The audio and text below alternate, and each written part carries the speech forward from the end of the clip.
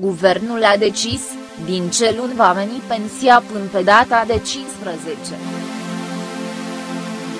Premierul Viorica Dencil a anunțat oficial ce s-a decis plata pensiilor până în data de 15 a fiecărei luni.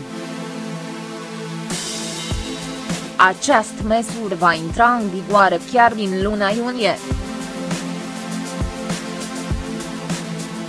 Am avut judele în care s-au înregistrat întârzieri la plata pensiilor. Timp ce pensionarii îi planific pensia de la o lună la alta ei nu putem accepta întârzieri ale pensiei.